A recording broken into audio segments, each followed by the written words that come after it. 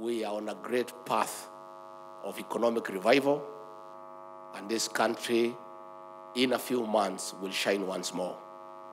Your Excellency, on behalf of those you have given the privilege to serve under you, we want to thank you for your leadership and your guidance, and much more so for putting Kenya on the world map. Kenya today is respected in the entire world, and Kenya has become the destination of choice for people from all over the world. Again, Your Excellency, before I invite you to address the nation, let us also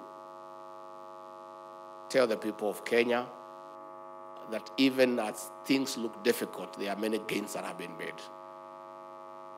It is in no doubt that Kenya is a very peaceful and secure country, and I really want to take this opportunity on your behalf to thank our defense forces, our National Police Service, that crime has been brought to almost zero in this country, and this Christmas is a testimony that Kenyans have enjoyed without any problems because the country has been secured. And as we go into 2024, we look to even better times.